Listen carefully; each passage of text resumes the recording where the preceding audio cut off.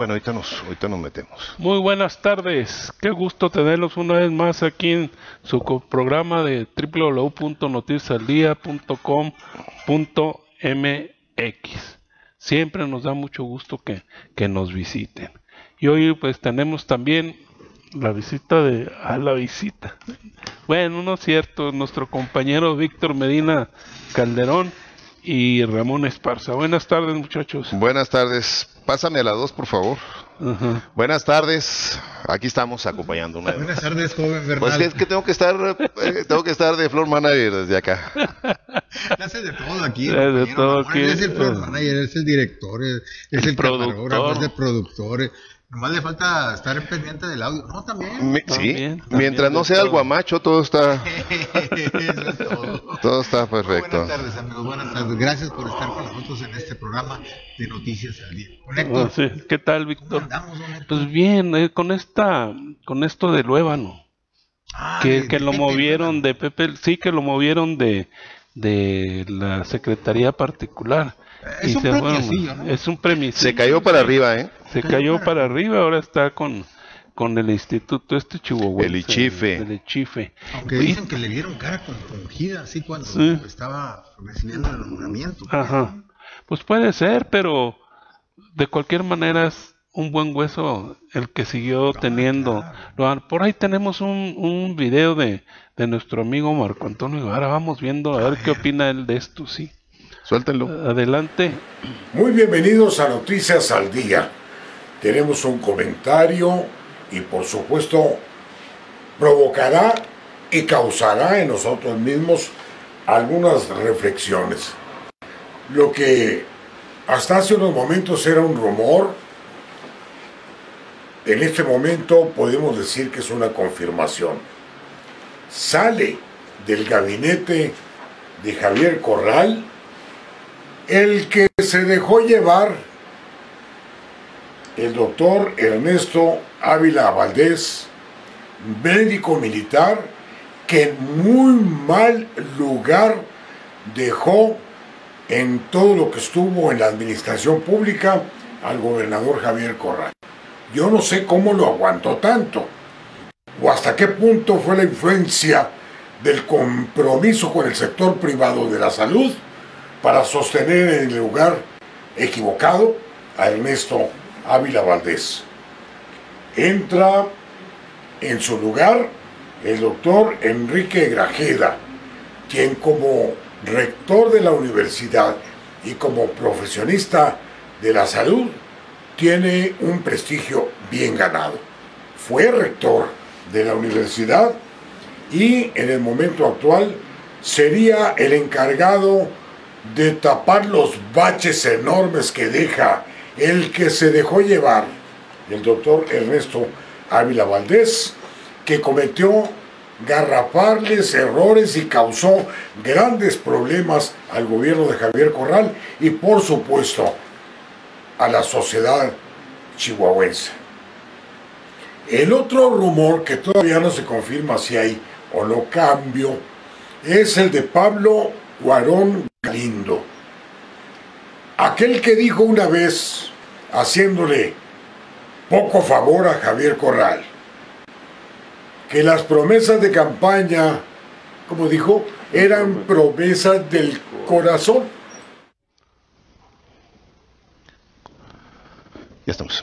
Pues sí es nuestro amigo Marco Antonio Guevara, sin embargo, el video no es el que teníamos programado. De cualquier manera, qué gusto que hayamos escuchado a Marco Antonio Guevara. Pues estamos Sí, en el caso, mande. Siempre las opiniones de, del señor Guevara pues son muy acertadas. Es, Así un- es. es un hombre de, con mucha, mucha sapiencia política. Definitivamente. Y bueno, pues tuvimos la oportunidad de, de escucharlo en, en un tema que definitivamente pues es, es, eh, es un tema que, que afecta y preocupa y debe de interesar a la sociedad.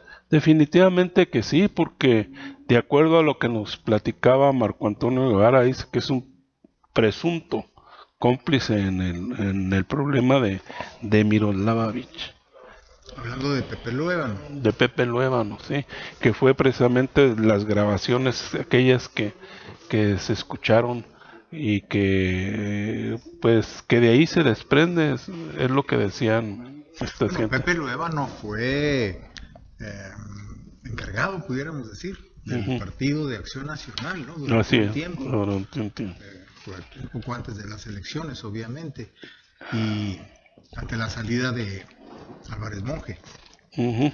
Y, y en ese periodo, eh, pues por ahí se realizó una, una grabación de una llamada telefónica que le hizo Alfredo Piñeira Ujú. a Miroslava Bridge. Todavía vivía Miroslava Bridge. En esa llamada telefónica eh, quería o intentó este, sacarle información a Miroslava en el sentido de quién era la responsable o el responsable de la información que se vertía en una publicación que hizo Miroslava en donde Mm. denunciaba eh, pues ciertas eh, ligas ahí con el crimen organizado entre familiares, nexos con el, con el PRI y posibilidad de que fueran eh, de que fueran candidatos o más bien ya eran candidatos Así es. este, gente que estaba ligada con el crimen organizado. Sí, Gente de allá de, de Batopilas, ¿no? no, de, de, ¿cómo se llama este municipio? Hijo, Ven se un municipio de allá de se la va sierra. su nombre. Ahorita nos Ahorita acordamos. nos acordamos. Pero en, en- en relación a esto, eh, ella decía que la única responsable, Chiripas. Ujú. era ella. O sea, yo soy la única responsable porque yo soy De la ahí, publicación. Y ahí yo conozco todas las piedras de ese pueblo. Entonces yo soy la única responsable. Esa grabación la hicieron llegar a través del presidente municipal de Chiripas en aquel entonces, Así es. crimen organizado. Y se presume que esa fue la razón por la cual mataron a Miroslava Bridge. Ujú. Entonces Pepe Luébano, pues de alguna manera, Apareció en la... estuvo involucrado en, la orden a Alfredo Piñeira Sí. de que se llevara a cabo esa grabación, ¿no? Así es. Lo que nos han comentado, las cosas fueron de esa manera, aunque ambos, tanto Piñeira como Luébano, no han sido llamados a declarar, ni están sujetos a proceso, ni nada por el estilo. Definitivamente sí que es sí. una carga sí. con la que tienen que Fíjese que a mí me llama la atención ahora con este, con este nombramiento y que bueno, como bien lo expresamos, se cayó para arriba porque al caer en el Echife donde, donde tienen un poder de decidir sobre las obras que se van a realizar en la infraestructura educativa, ¿sí? Ujú. porque ese es, ese es el instituto, me, me llama la atención cómo, cómo, cómo sale a colación el asunto de, de Miroslava Bridge con Pepe Luébano. Y hace, me- hace unas semanas, no olvidemos que se pola- polarizó o se, o se- se hizo polémico el nombramiento de un asesor de comunicación social con Fernández Álvarez ahí en, en- en Congreso del Es Estado. sí. Y que precisamente era el mismo argumento de, de- Perdón. de la relación en el asesinato de Miroslava el, eh, el que se haya nombrado una persona de, de esta índole, sobre todo teniendo el poder de la comunicación.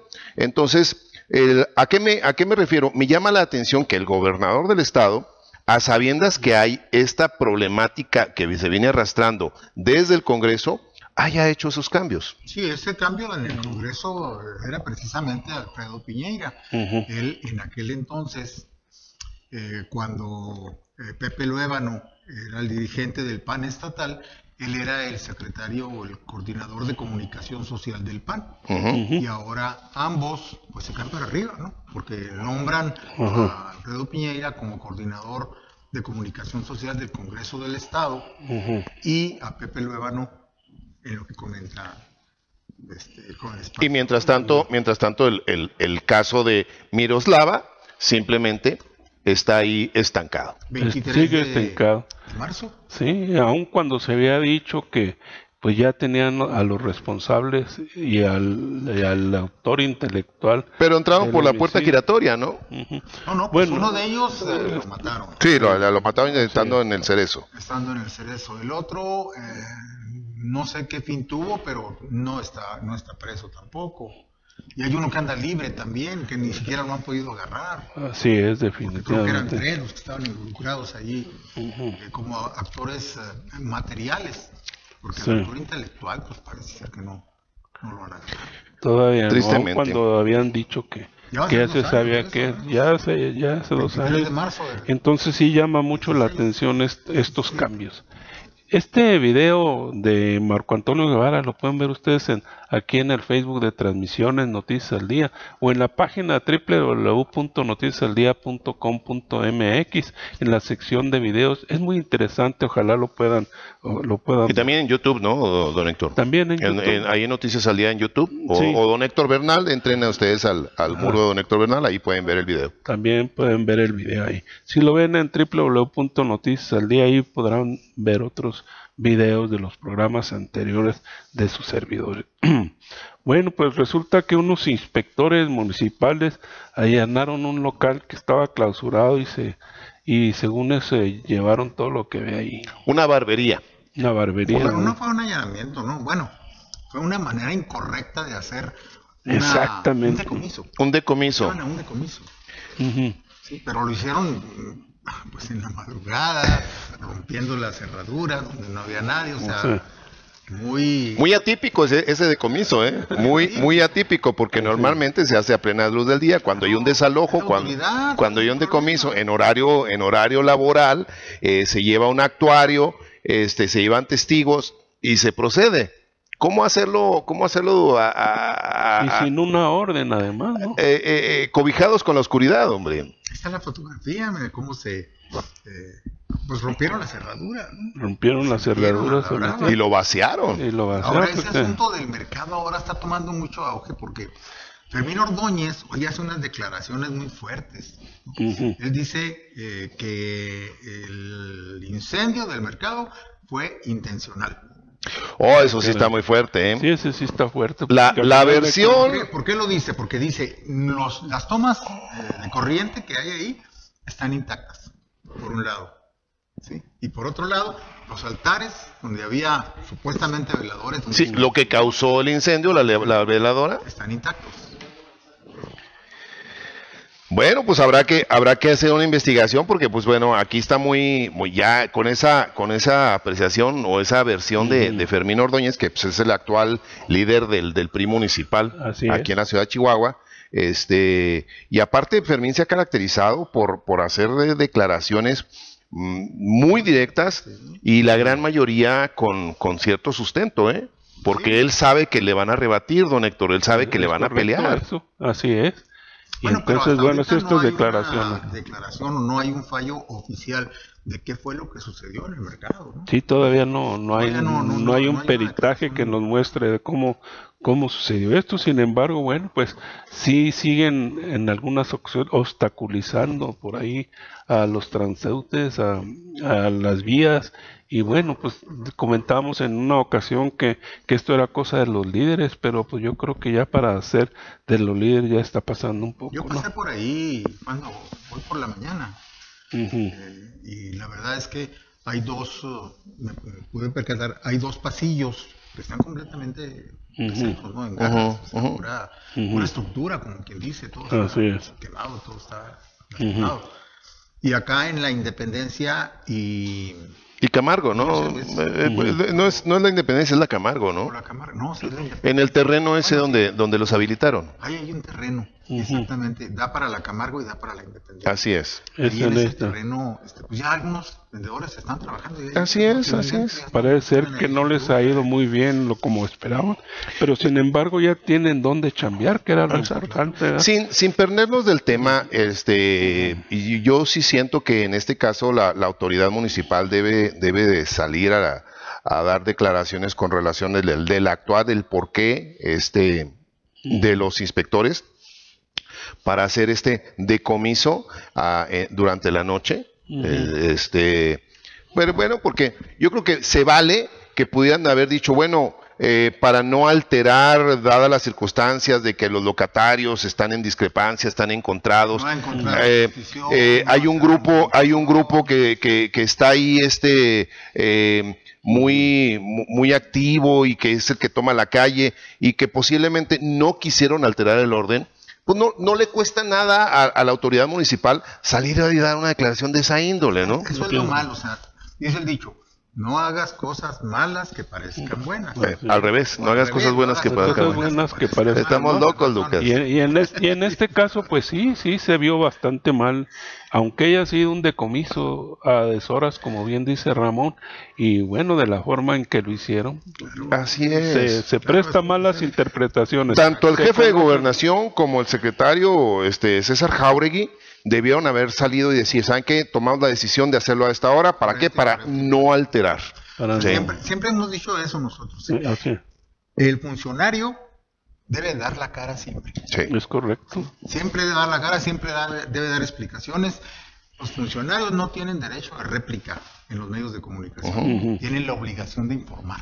Es correcto. Ya por aquí lo hemos dicho bastantes lo hemos veces. dicho muchas veces. Así es. Y, y bueno, pues es incorrecta la, la forma de actuar de un funcionario cuando se esconde y deja que las cosas fluyan. Así es. Porque luego se crean muchas expectativas en muchos sentidos, a veces favorables, a veces desfavorables, pero ante la sociedad se crea una situación de desequilibrio. ¿O usted qué opina en el actuar de, de- de la autoridad? No, no bueno, los, los inspectores son autoridad, pero hablando en cuanto a la autoridad municipal, don Héctor. Debió haber, debió haberse informado, a salir cuando menos el secretario de, de- del ayuntamiento. ayuntamiento y, de, y manifestar. Esto se hizo por esto, esto y esto. Porque han dejado que algunos medios de comunicación den la nota como que fue un robo de, de los inspectores. ¿eh? Lo han dejado crecer, ¿eh? Lo han dejado crecer, ese asunto. Entonces, si es así como lo bien lo dice Víctor, bueno, pues yo creo que hay que ponerle un hasta aquí, porque aquí los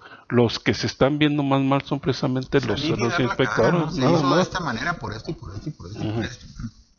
Definitivamente, fundamento legal para hacerlo adelante. Sí. Y si no, asuman su responsabilidad también. definitivamente que sí. No porque sean funcionarios, Así. tienen el derecho de transgredir la ley. Y no porque vayan a, a hacer esto, así como lo, lo mencionas, Víctor, pues lo vayan a hacer a deshoras, como bien dice Claro, claro, es incorrecto. Ramón. Bueno, pues Saludos para don Edgar Gaitán que nos está eh, siguiendo por aquí, Carlos Eduardo Soto también. Doña Josefina Barrios está muy contenta. ¿eh? Sí, José, pues aquí está don doña Víctor. José. Álvaro Doña Macías Jo- también, Emma de la O, un saludo, doña Emma. Me gusto saludarla, Oscar Payares, Daniel Bernal. Gracias por estar con nosotros esta mañana, esta tarde y ya, ¿cuál mañana? Aviso, aviso, eh, que ya, ya, Álvaro ya, Macías, ya, Ya lo mencionaste. Sí, sí, ya. ya la, la- la hora del cocol, ¿eh? Es la hora de la lechita y el cocol. Así es. También don Jaime Armendáriz es importante que se comunique con nosotros porque han estado llamando para algunos para alguna asesoría sobre sobre lo de pensiones en el del último Ah, programa que, que, tuvimos. que- que hay muy buenos temas al respecto, don Héctor, este, de- en los cambios, por ejemplo, ha habido, ha habido crecimiento favorable dentro de las Afores. Fíjense que hoy en la mañana estuve platicando con algunas personas que cuando decían que porque nuestras Afores invirtieron en, las iban a en- robar se le iban a robar, pues no, las Afores han tenido, han tenido una recuperación y algunas han tenido buenos dividendos. Entonces buenos esto es favorable para las pensiones y los retiros de los demás. Entonces Jaime, Jaime sí es bueno que vengas. Disminuyen las comisiones de las AFORES, ¿eh? Anunció en la mañana el presidente. El presidente hizo muy buenos anuncios el día de hoy. Sí, van a disminuir las comisiones de las AFORES a menos de un peso, creo que punto 98. algo Así así. es. Pero bueno, don Héctor, don Héctor, por ahí que te traes traes más notas. Sí, traemos esa al- más adelantito. Lo de la re- revalidación vehicular. Aun cuando hubo algunos aumentos en la revalidación vehicular. Aquí, aquí. Ah, ok. Ahí ver, aun cuando hubo unos aumentos en, en el costo de la revalidación vehicular, pues in- ingresaron muy buenos billetes de 552 millones de pesos ahora en enero. Sin embargo, es una cifra inferior a lo obtenido en el mismo plazo. El del 2018. En el 2018. A pesar de los aumentos, porque por ahí debemos tener algunas tablas de lo que aumentaron los. el- Sí, la hubo, hubo un incremento, un incremento, aunque fue, fue un juego de números, don Héctor, porque recordemos que el año pasado era un costo unitario O sea, Ujú. uno pagaba dentro de los, los tres primeros meses la misma cantidad. Así es. Este, y ahora no, es un juego de número dependiendo del año del vehículo, que va desde la cantidad de mil hasta mil trescientos pesos en el mes de enero. Así En el mes de febrero va a ser otra cantidad, que ya estamos en febrero. más alto. Y en, no sé. en marzo va a ser otra cantidad. No sé si ustedes ya hayan hecho el, el ejercicio, pero eh, le- los costos de revalidación eh, más bajos ahorita eh, son de 900, 700 pesos, Ujú. creo el más bajo, ¿no? Así Que es. son vehículos del 2000 para atrás. Son 900. 900 pesos. 900. El año pasado eran 900. Eso fue en pesos. enero. Así O es. sea, ahora el costo más alto son 1800 pesos, si no me equivoco. A lo que voy es lo siguiente. A- a- al gobierno del estado no le funcionó este nuevo esquema. No, y además es un, es un incremento, o sea, subieron. El pueblo, el pueblo, el pueblo ya es un pueblo analítico, es un pueblo que puede discernir este juego de números. Entonces, primero que nada, hicieron una mega campaña durante el mes de noviembre y diciembre, donde, donde hacían descuentos de, del 80% o más Sí. en recargos. Este, entonces, es, premiaron a los morosos. Y lo comentamos aquí en uno de los programas. uno de los ¿sí? programas. Lo comentamos. Entonces, el gobierno del Estado premia a los morosos. ¿Qué pasa en diciembre? En diciembre empiezan a hablar sobre la revalidación vehicular y hacen este juego de números en donde le venden la idea que si su carro es del 2005 para abajo, va a pagar, va a pagar 900 pesos. ¿sí? Y luego, así sucesivamente, a los, a los carros de- de- del año. Va una eh, exacto, pero únicamente en enero.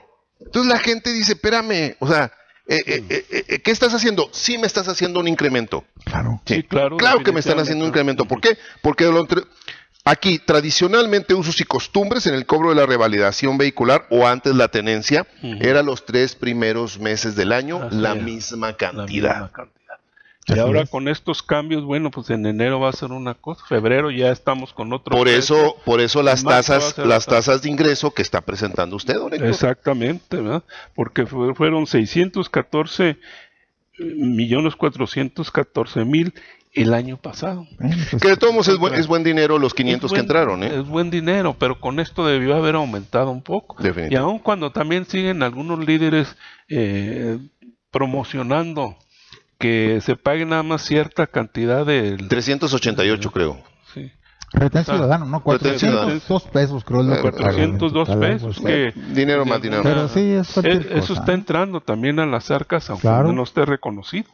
Claro, ¿no? Y ahí vienen, agárrese, porque ahí viene el tema de las fotomultas. Híjole. El 15 de febrero tiene reunión el Consejo Consultivo y ahí van a poner en la mesa el asunto de las fotomultas.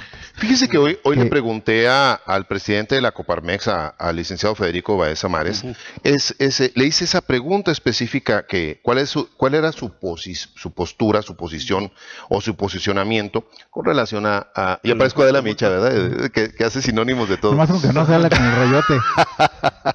que eh, con Pero hay relación- diferencia, ¿eh? Sí, alguna, Ah, alguna, poca, bastante, poca. bastante. Pero entremos al tema, no se, no se salga de. Sí.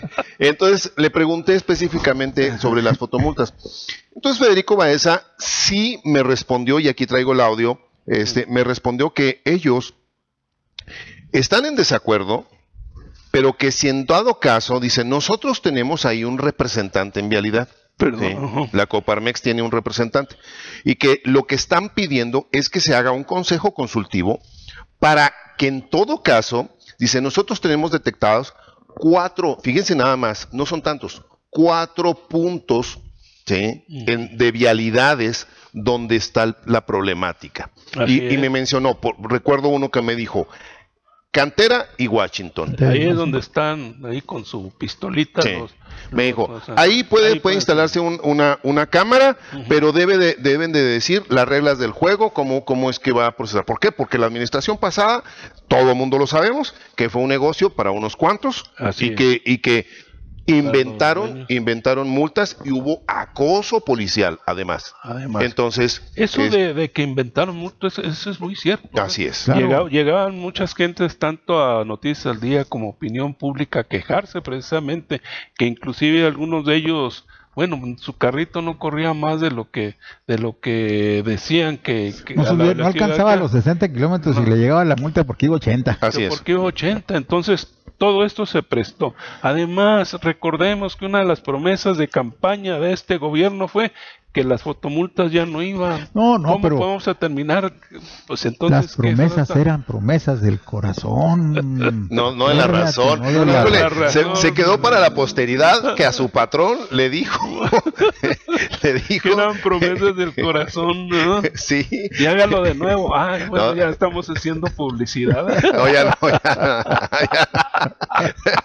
Ay, bueno, lo bueno es que es- él es dueño de su propio programa, así que no hay manera de meterle la factura a él.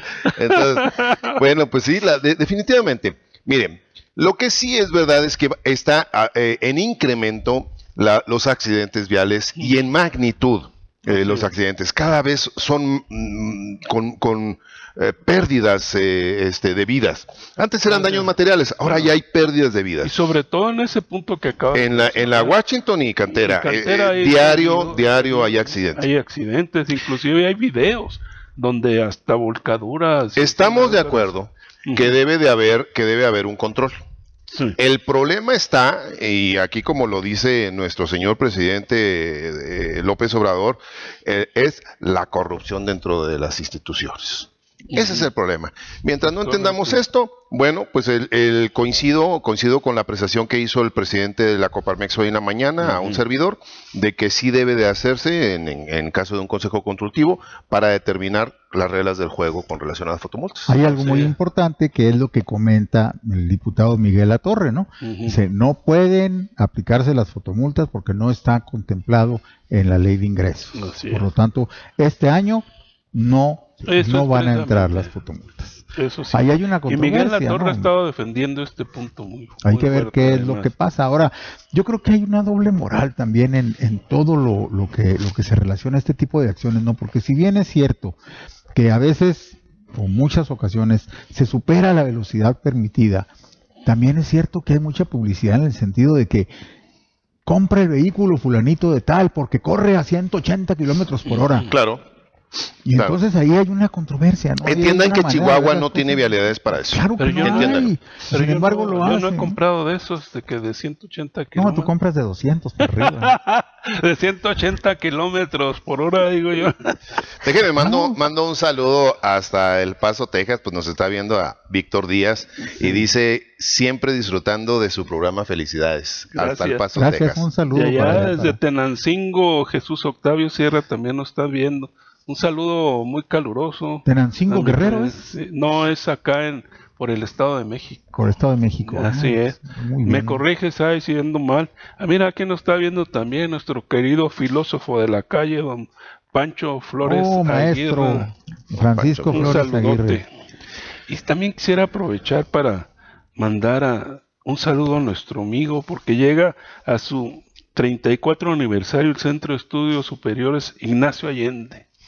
¿Estás De hablando del nuestro profe gran Rocha? amigo, del profe Rocha, de, de Saúl Rocha. Saúl Rocha, un abrazo. Un muchas abrazote. felicidades. Ya son y que sigan los años en, éxitos en, en los dos. De hecho, de hecho es una de las instituciones educativas íconos de la ciudad, ¿no? Es correcto, Porque, porque, pues, la Ignacio Allende este, es mencionada para bien y para mal en, en todas las épocas. Una de las Sí. pocas instituciones medias, Para clase media más o menos, que hay en la ciudad, que persistieron a la crisis del 95. Sobrevivieron. Sobrevivieron. Porque sí Así estuvo- es. Estuvo tremendo y lo logró y ya tienen su local, tienen buenas instalaciones. Así Tienen, es. tienen dos Han desarrollado muy instalaciones, bien. una es acá por la por el Paseo Bolívar.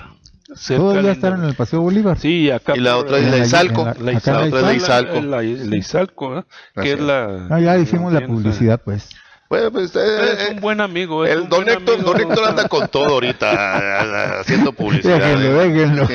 Oiga, no van a creer esta, no van a creer esta nota.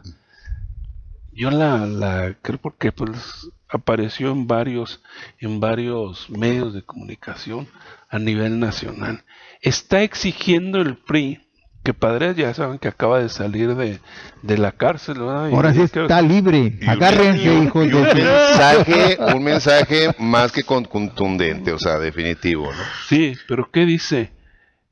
Dice, él exige el PRI que devuelva lo robado. El chiste se cuenta solo. El chiste se cuenta solo. O sea, por favor. Háganle caso, por favor. A padres. hombre. Ah, bueno, ok, está- ok, de acuerdo. ¿Por qué Padres estuvo, estuvo este, carcelado? Precisamente, pues bueno, porque se le fue la mano haciendo su propia presa, teniendo terrenos, este, propiedades y demás. Se le fue la mano a Se Padres. le, se le acomoda mucho. Sí, acomoda y bueno, por ahí, por ahí pues se le, se le fincan alguna relación con la delincuencia organizada del famoso Triángulo Dorado, que, que en este caso, pues es el Triángulo Dorado, está en las colindancias del estado de Chihuahua, por allá por, por Huachochi y este y, Durango y y Guadalupe, Calvo, Durango y Sinaloa. Aunque Padres, pues fue, de gobernador de Sonora. Sonora. ¿sí? Es. Entonces, Pero está cerca, precisamente, Exactamente, por ahí se le fincó una cuestión, porque sí hubo, sí hubo una, una, un nivel de violencia, sobre todo en, en, en, en Hermosillo y, y el problema que hubo con Cananea. Entonces, el mensaje que dio ahora, ahora a salir de decir, hay que estar muy pendientes de cómo van a estar los índices de violencia en, en, en el Pacífico. Sí, porque lo dijo y lo dijo con todas sus letras. Así es. Ahora Pero sí, parece ser que el- lo dijo en otro en otro sentido, no no en el Mm. sentido de la amenaza, sino en, en De que va a soltar la sopa, de que va a cantar, de quién sabe qué ir a hacer. porque él sabe cosas, ¿eh? Sí, sabe bastante. Él sabe cosas. Él, él- recordemos que él estuvo en un periodo donde, donde estuvo Enrique Peña Nieto, ¿Tú crees que, que esté como en el caso de, de, de este Jaime Herrera? Que testigo protegido Que por eso lo suelten y, lo- y Sí. lo hayan dejado salir. o, o de que necesite un tarro de vaselina. No, no, de, de- Ah, testigo protegido. Testigo bueno, en el caso de él, tuvo que dar un- algunas de sus propiedades para poder para poder la liberar. Pues nada más para 100 poder millones de pesos. O sea, un, un gobernador que tenga propiedades por 100 millones de pesos, eso no lo hizo en sus años de gobierno.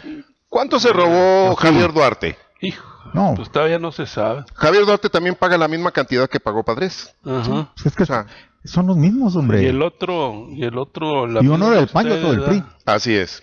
Y el otro del PRI también que todavía anda disfrutando de, de su lana. César En Duarte. el caso de, de Herrera, bueno, en el caso de Padres, bueno, pues él sí entró, pero en el caso de Herrera, que ahorita hacían la comparación, pero, pero él ni siquiera, No, ni siquiera está señalado. ni siquiera libre está señalado, completamente. totalmente libre. Sin embargo, se maneja, se maneja que hay, que hay una cantidad de expedientes que dentro de poco, lo que pasa es que el gobernador, en el estilo que tiene, está esperando que suceda algo, algún señalamiento con relación a- al gobierno del estado para sacar más detenidos, porque es una práctica que tiene Javier Corral. Con todo respeto, pero el gobernador es puro bluff.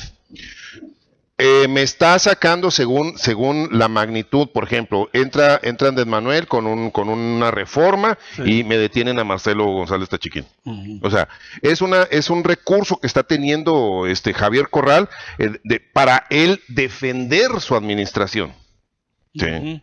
¿De qué estamos hablando? O sea, aquí no es no es la aplicación de la justicia, No. es utilizar la justicia con fines políticos. Así es. Eso es lo que es está haciendo. El poder es para poder, dijo, Eh, dijo César Duarte. Ahí está, ahí está.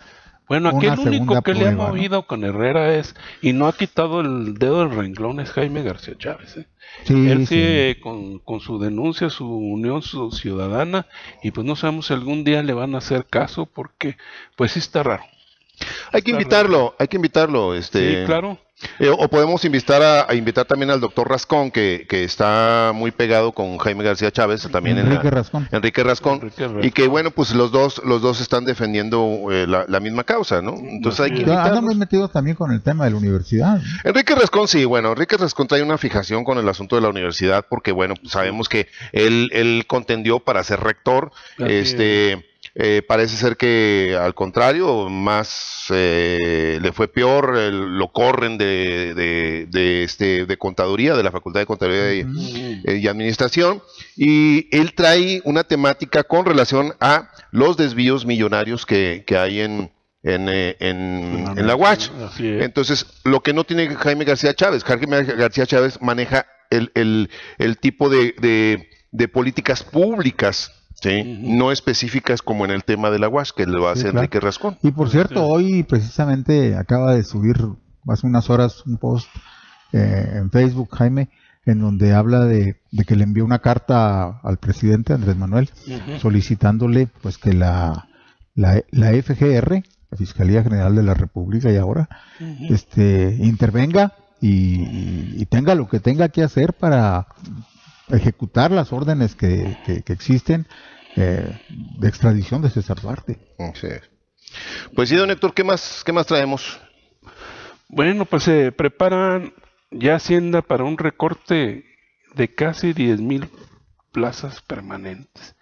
Hace unos días nos llegó, nos llegaron unos, unos currículum de algunas personas que nos conocen el- de, del Instituto de Seguridad Social de los Trabajadores del Estado, el ISTE, porque los habían despedido aún con 25 años de, de, de, ahí, antigüedad. de antigüedad, o sea, no eran, no eran de estos de los aviadores que, que, que se meten durante cada sexenio, gentes con 25, 18, 20 años de, de- trabajar y los despidieron así nada más. Entonces están enviando los currículums a, la- a los medios de comunicación que nos conocen y dicen, bueno, pues que nos encargan chamba porque se quedaron prácticamente en la calle. Ayer, ayer tuve la oportunidad ya, ya en la tarde de platicar con una enfermera de ahí del ISTE. Entonces, eh, el- entrando a ese tema de los despidos que, que se generaron tan, tan abruptos y tan tajantes, porque fueron, fueron masivos aquí en la Sí, ciudad, claro. eh, encontramos que es a nivel nacional. Entonces, ¿qué, qué perfil tienen las personas que, que- que son despedidas? ¿Son los de suplencia o, o son los de interinato? Los que no tenían una base. El- ok, perfecto. Todo gobierno, todo gobierno hace ese tipo de ajustes que en el recorte presupuestal despide personal para poder meter a otros. Entonces, ¿a quién despiden principalmente? Pues a los que a los que están eventuales, a los que están de suplencia, a los que están sin base, a- eh, protegen a los sindicalizados o no se meten con los sindicalizados. La Más bien no pregunta se meten con los sindicalizados. la pregunta aquí, don Héctor, es, en el tema de la salud, ¿qué va a pasar, por ejemplo, en los descansos, en las vacaciones, en las incapacidades de los titulares? Específicamente, por ejemplo, de las enfermeras o los médicos o los especialistas o los... todo o- de personal está también saliendo. no, ¿eh? es que, es que salió desde el intendente Sí. hasta los médicos especialistas. Así es. Entonces, yo estoy de acuerdo que, bueno, dentro de las administraciones se tienen que revisar la, la- la parte, la parte laboral o la parte contractual o la parte económica, hacendaria y demás, administrativa. Pero también tenemos que ver en el tema específico de algo tan delicado, porque este es el caso del, del ISSSTE, pero ya estamos teniendo pacientes que, que han muerto en el, en el hospital central, que, que depende del gobierno del Estado, Así es. porque el gobierno del Estado hizo algo muy similar, además de, de la mala administración y de no tener material de limpieza y demás. Así Entonces, el ISTE aquí en Chihuahua tiene un solo hospital o clínica, ¿sí? Este, que tiene que dar servicio a todos los derechohabientes, que son muchos. Así es. Entonces, si reduces esa planta, ¿sí? Que ya entraron más, ¿eh? porque todos aquellos que tenían funcionarios, que tenían seguro de gastos médicos mayores, ahora van a al ISTE. Entonces, la pregunta es, Jorge Esteban Sandoval, ¿qué instrucciones trae? Esa es la pregunta. Bueno, no sabemos, pero estamos viendo porque tenemos gente muy conocida, muy muy allegada, que por ejemplo hay un amigo del grupo de nosotros que ya tiene más de un mes ahí que lo operan y que no lo operan, lo volvieron a internar, sale, lo volvieron a internar y luego dicen que no, que, que no lo, ya estando en el quirófano dijeron que no lo, no lo iban a operar. Qué grave. Entonces, saludos mi querido Roberto. No, no se vale, porque esta gente está esperanzada a, a- a que a, a salir de su problema de salud y se está metiendo en otro más fuerte Así es. por la misma depresión que, que están teniendo, porque no saben si efectivamente los van a, a intervenir quirúrgicamente o de plano no lo van a hacer por la falta de, porque de, de repente dicen, no, pues es que se les hizo limpieza al quirófano, espérame ¿Cómo No, vas no, a con la salud no se juega, hombre. No, con la salud no se juega. O luego, de repente dicen, pues sí, que les faltó el personal o que van a trasladarlos para otras fechas y aún, aún hablando con las gentes, inclusive con el mismo Jorge no han podido solucionarle el problema a este. A Sí, este sí, es algo. Pero de todos modos, don. Héctor, volvemos, Ajá. volvemos al mismo punto, por ejemplo, que mencionamos con, con el caso del municipio. Aquí las autoridades, en este caso, el delegado, el delegado, interino o no, es Jorge Esteban Sandoval. Claro. Y tiene, y tiene gente con, con ya experiencia, que es, que es Ramiro Alvidres, lo, lo tiene ahí a su lado.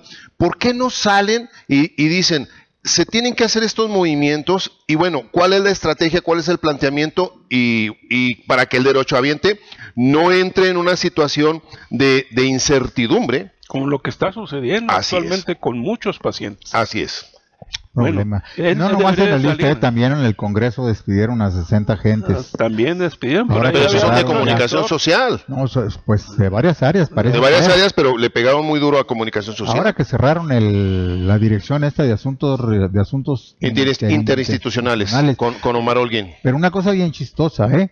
Dijeron, pero no nos vamos a bajar los sueldos, dijeron los diputados. Ah, los sueldos no nos los vamos a bajar. Estamos en una eh, época en donde tenemos que ser muy austeros, muy ahorrativos, y por eso vamos a cerrar las vacas de dos compadre. dependencias, una dependencia para concentrar dos en una sola. ¿sí? Para ahorrarnos allí Mi pregunta es si Miguel lana. Colunga se sumó a ese dicho.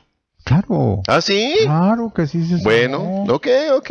Pues Eh, bueno. aunque él dice, tenemos que hacer que haya este, eficiencia en el, en el, en el Congreso, ¿no?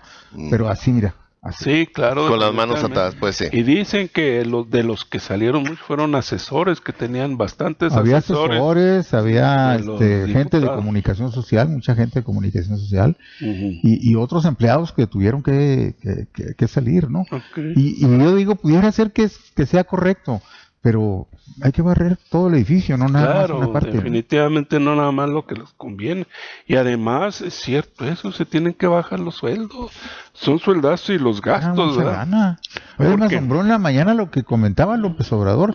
Este señor que era el dirigente del Infonavit ganaba 700 Qué barbaridad, ¿eh? mil pesos Mensuales, qué barbaridad. Pero ahí sí es, es, es una aberración. Esto es, ¿cómo podría llamarlo? Horrendo lo que estaba haciendo este Hay penchina. casas que valen 700 mil pesos. O sea, el, el valor de una casa O sea, para mensual. una familia que se pasa toda la vida pagándola, este tipo se lo llevaba en un mes. No, y además hay gente que ya la pagó dos, tres veces el, el, el costo y no y no, no les entregan sus papeles. Qué ¿verdad? barbaridad, A ver, tocado veras, sí traigo ese tema Es por aquí en el caso eso. del Infonavit. Precisamente fue lo que mencionó Andrés Manuel López Obrador en la mañana, que iba a ayudar a toda esta gente para que pudieran, para que pudieran sacar adelante sus casas, inclusive eh, manda a decir eh, los que son beneficiarios del Infonavit los requisitos que deben de tener para poder eh, para Eso es muy hacer- importante, ¿eh? Sí, Eso es muy importante para que no se son más malinforme Eso es como correcto, lo hacen otros medios porque mandan el encabezado sensacionalista donde dicen que ya el Infonavit ya no vas a pagar. Bueno, la, el- el- la reestructuración que está proponiendo Andrés Manuel López Obrador, presidente de la República, es en, y en el planteamiento que hacen en la mañana el, el director del Infonavit, de las cuentas que se revisen, hay ciertos requisitos, don Héctor. Sí, hay. Eh, primero, uno, que, que, que tenga más de 15 años, más de 15 Pagándolo. años pagando su, su crédito. Dos, Que que hay más de lo que el valor tenga la 1.5 capa. más. 1.5 De, de 1.5 en adelante Así eh, ya, ya está considerado. Que la persona tenga más de 40 años. ¿Sí? De edad. De edad. Más sí. de 40 años de edad y que haya sido constante. Entonces, tiene que entrar al portal, al portal del Infonavit, eh, ahí lo mencionaron, para que, de- fíjense que, que me gustó esta parte, el evitando antes, antes conseguir una cita al Infonavit, Sí, era era un vía crucis, ¿eh? Era un vía crucis, Sí, sí, ¿sí? Y aparte lo, lo malatendían, Sí. de mala gana. Ahora no, directamente al portal, uno entra, mete sus datos, él eh, está con, nada más con su, con su número de razón social.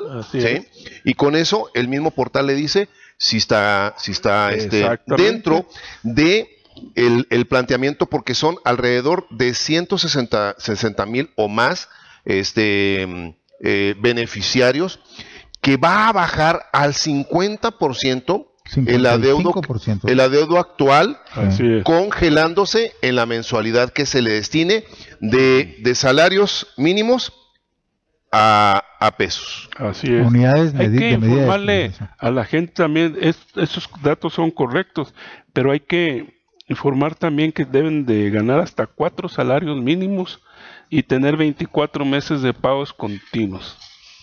Un crédito de al menos 15 años. Así es. Bueno, todos estos Y son nada son más 200 mil créditos los que se van a, los que pueden entrar en este Sí. esquema en todo el país. ¿eh? Ajá, así. Oiga, sonó como, como Emma de la O.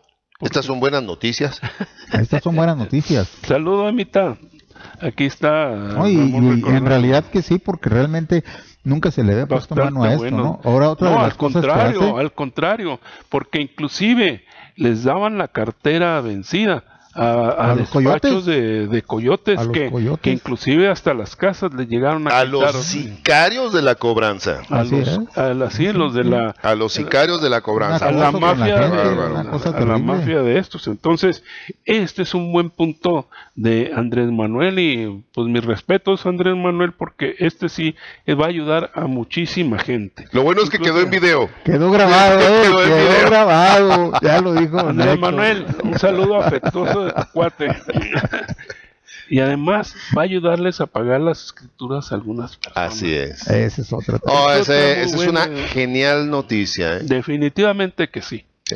Definitivamente que sí. Bueno, pues Son aires de cambio, ¿no? Es la No, cuarta es que transformación. En la, en la mañana la rueda de prensa donde ellos señalan que, por ejemplo, fíjense hasta dónde llega la corrupción, donde se autoriza donde la urbanización en, en lugares completamente apartados de los centros de trabajo o, de vialidades o de centros comerciales, este, donde el negocio era redondo. Sí, El- simple y sencillamente eh, se hablaba con el municipio, se hablaba con los terrenos eh, que, que se podían eh, lotificar y ahí se hacía, se No, hacía. no entiendo cómo hicieron eh, colonias, autorizaron colonias como Rivera de Sacramento, como Punta Oriente. Tenemos, tenemos Chihuahua 2094. Chihuahua.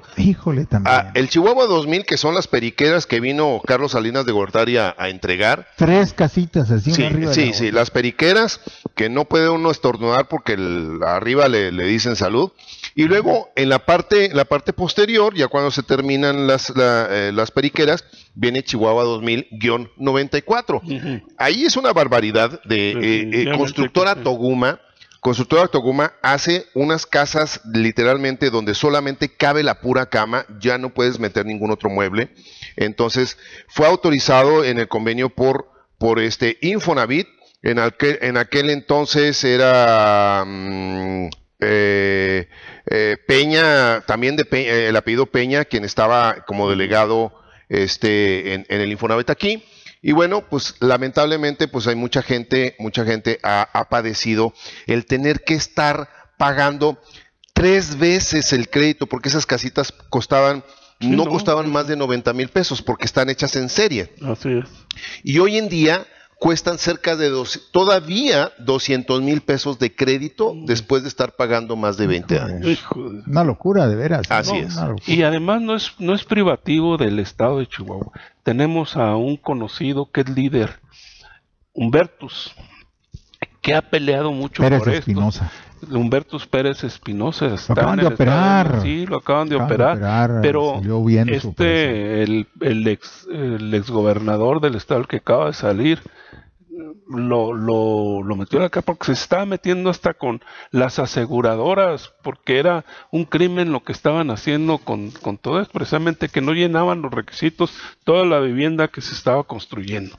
Además, no, no, no estaba, no tenían todo lo, bueno, todo Pero lo también- que debe tener. ¿Cómo los ayuntamientos, cómo autorizaban eso? Pues cómo, pues cómo se están haciendo, pues es, Es, es- es inmoral eso, hombre, llevar a la gente a ese tipo de hacinamiento de viviendas es Sí. inmoral. Sí, completamente. Definitivamente que sí. Como si no hubiera espacio en este país para hacer algo un poquito más. Tenemos muchos problemas, ¿no? Está cambiando. Está Agua, cambiando. Este, el, señor presidente cada vez se gana más el afecto de mucha gente, Eso entre ellos yo, porque no nada más lo del huachicoleo que ya ha sido amenazado, ha descubierto, ha descubierto una red de corrupción, en la delincuencia organizada metida en esto, gente que se ha enriquecido. Romero de Champs ya tiene, ya tiene denuncias, Así este, el sindicato lo ha desconocido, donde, donde el mismo sindicato ha dicho que Romero de Champs se ha enriquecido porque él está consciente del huachicoleo. Entonces el señor presidente, con esto de jóvenes construyendo futuro, es. también está dando la oportunidad de la capacitación, del crecimiento de los, de los jóvenes.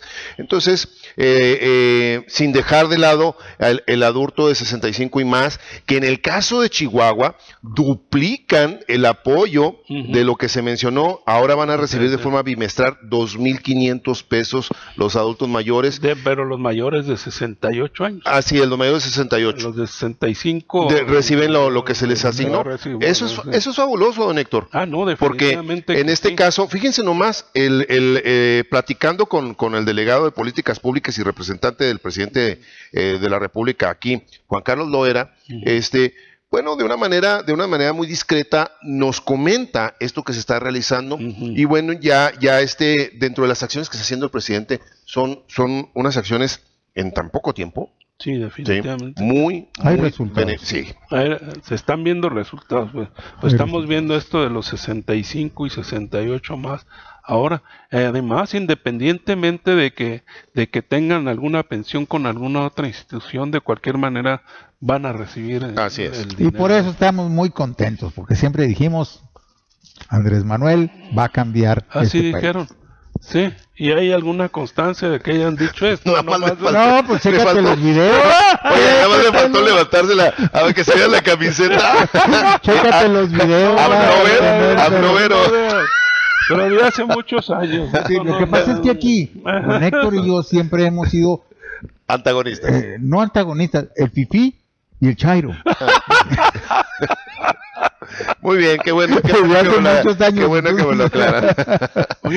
Ya llegó el rumple. ya, ya llegó el Aquí está. Ya lo vamos a dejar. Sí. Acicalándose ese cabello platinado. Va a haber un nuevo, se va a llamar Sindicato Internacional. Ah, caray. ¿De qué? de- sindicatos de iguales todos, pero va a ser a nivel De internacional. trabajadores. De trabajadores. y todo. de- ¿Pero de qué tipo de trabajadores? Bueno, pues, todavía lo están haciendo ahorita, pero ¿saben lo que llama la atención? ¿Quién va a ser la cabeza? Putin. Napoleón Gómez Urrutia. ¿Sí? Ay, ay, ¿en serio? ¿En serio? ¿En serio? ¿En No lo puedo creer. Definitivamente, ni yo lo puedo creer, no quería irme sin mencionar esto. Caramba. Es una verdad. Yo te lo dije de pura vacilada, ¿eh? Para que veas que le atinaste. El menos que pudiera hacer era precisamente. Me quedé sin palabras. No, no, Sí. de veras. Me quedé sin palabras. O sea, Bueno, nosotros despedimos el programa porque se quedó sin palabras Ramón.